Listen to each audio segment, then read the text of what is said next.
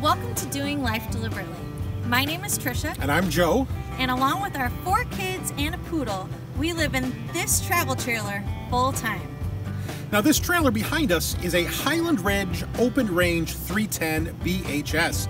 It is 37 feet long. It is a quad slide trailer with four beds in the quad bunkhouse. In today's video, we'll show you why we've chosen the Highland Ridge Open Range 310 BHS for our family, but we'll also show you how we've made it a comfortable, functional space for our family that will house us all year long. And this is a four season trailer. And so from hot summers to cold winters, uh, this hopefully should be able to take care of our family. Come on in, I'll show you around inside.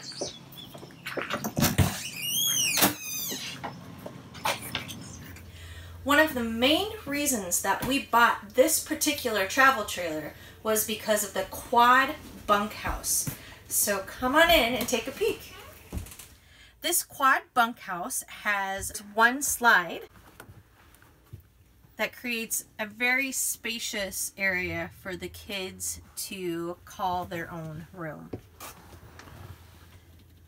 This bed, which is nice and big as you can see, will turn into a table and two bench seats. With the dinette set, this top bunk can lift up and it'll elevate here so you have enough headroom. to Each of the girls on this side has a space underneath each of the benches to put their clothes and it goes all the way back to the wall so there's tons of storage space. We put their clothes in labeled containers in here so that it's easier for them to get to. They've got two windows that can open up. And two windows below, one of which is an emergency exit. On this side, one of the nice features is there is a cubby hole up above for storage. So right up here where oldest can keep her belongings. Again, we've got the push button LED lights and we have shelf storage for each of the kids.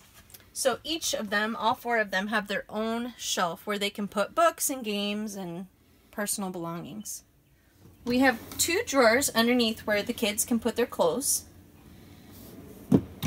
And there's a great little closet space that can hold quite a bit of clothes. And we even put some more personal belongings and clothes down here. The kid, girls have their ukuleles in there and Hannah has her backpack. And then Gideon utilizes this bottom space for more clothes and Legos and toys. And we put command hooks up on the wall for them to put their empty backpacks to get them up and off the floor and out of the way. To help the kids organize their shoes and hats and goggles and sunglasses, we put this over the door shoe organizer up there. One of the features that we really love about this particular model are the opposing slides. They push all the way out to create this big, spacious, open kitchen galley area for us to eat, to cook, to watch movies, and play games as a family. We were expecting, like most models, to have a bench seat dinette and to have love seat recliners, but when we found this model and we saw the U-shaped couch with the tables, we were so delighted that we would all be able to sit together as a family, watch movies, have meals, and not have to exclude anyone or put anyone in an awkward position during those times. So this was a huge blessing and a huge perk for us. These tables are great because they pop right up. These pedestals wind right off. And then there's a handy dandy drawer for them to slip right in. One of the main challenges of utilizing the storage space in the trailer is not that we don't have enough storage space, but it's using it efficiently. And I found these containers up above to keep each of the kids' school books and supplies. Another thing that we absolutely love about this model is the island.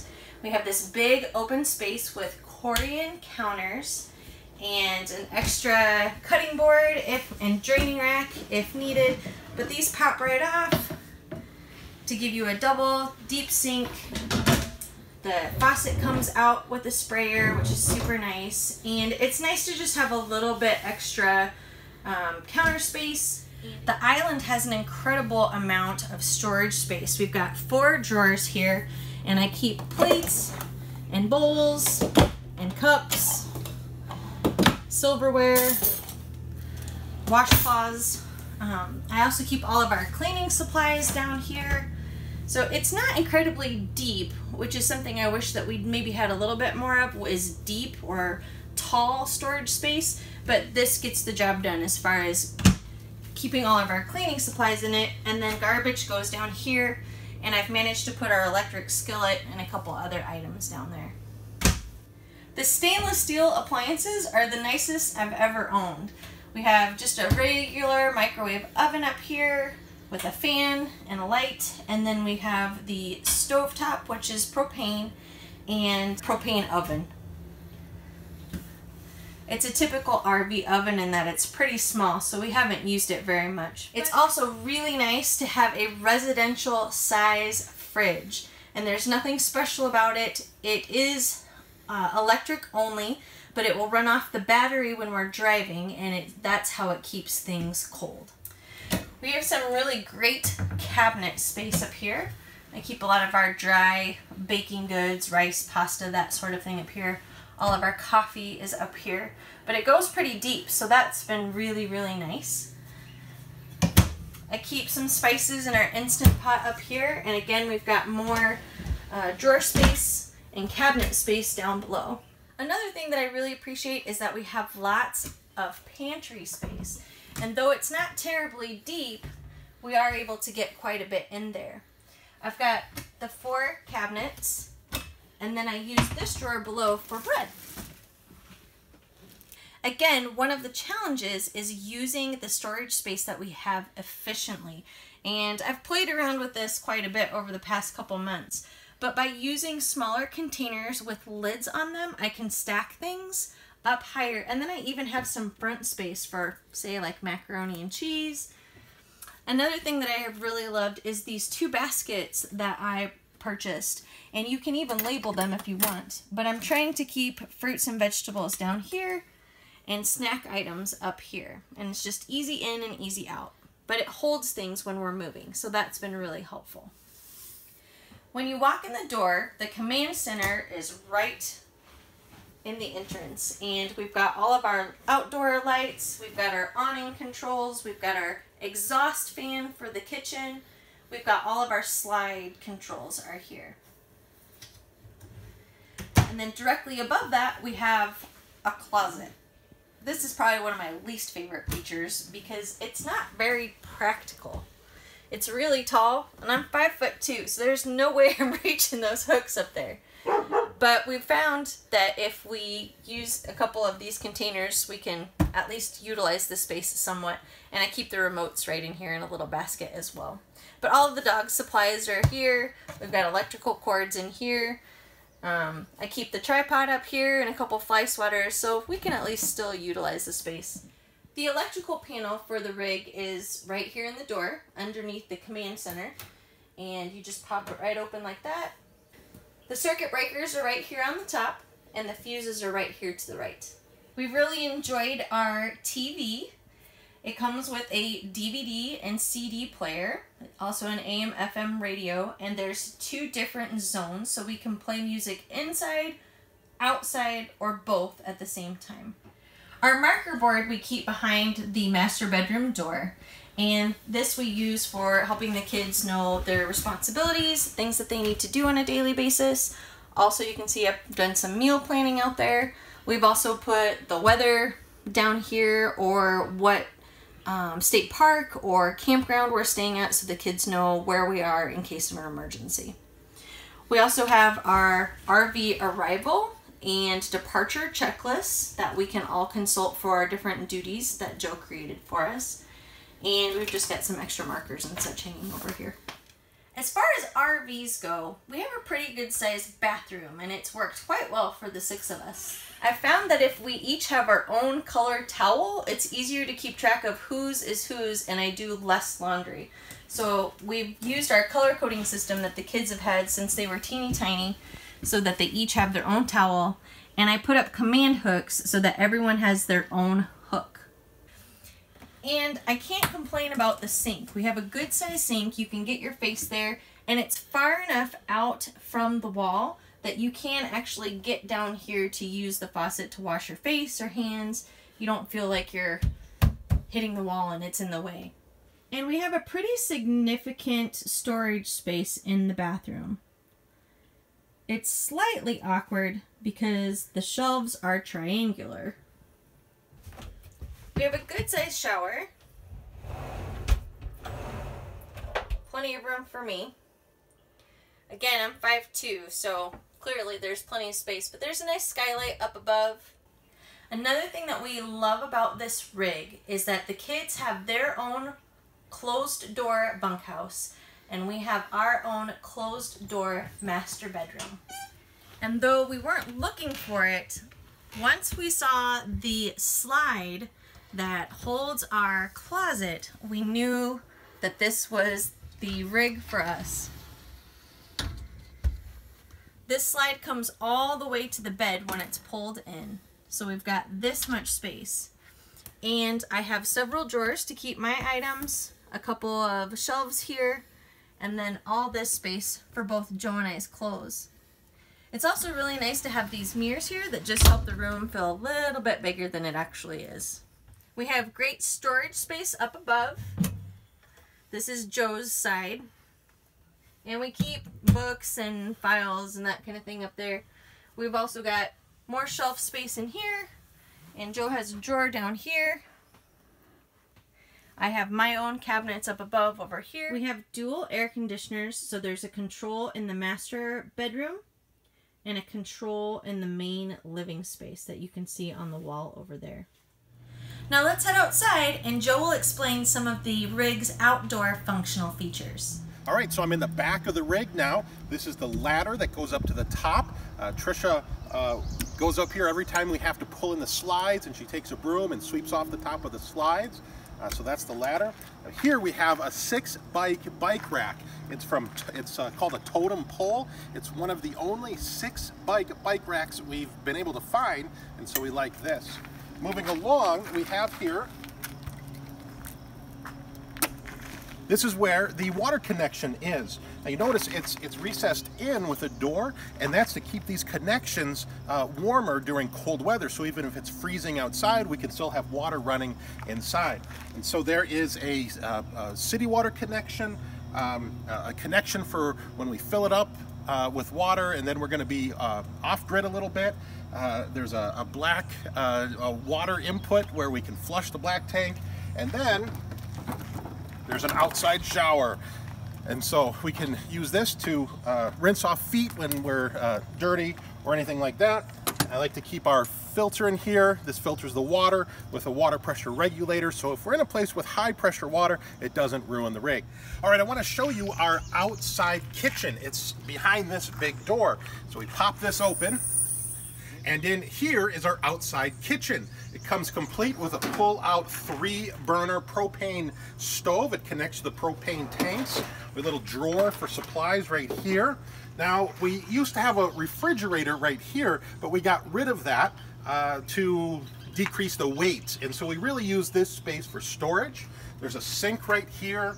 We keep our uh, air compressor right there and a little cubby here for the black gloves every time we need to touch the black tank stuff and then a lot of storage up here so we have a lot of these little containers that what is this sterilite a lot of little containers packed in here keep a lot of storage items up here now we could also mount an outdoor LCD TV right here. It's wired for that, but we've chosen to really just have the one TV uh, inside I'm standing outside slide number four. So this would be the kitchen that slides out. And right here, this little door, it flips open to access the refrigerator. So the refrigerator inside is right there.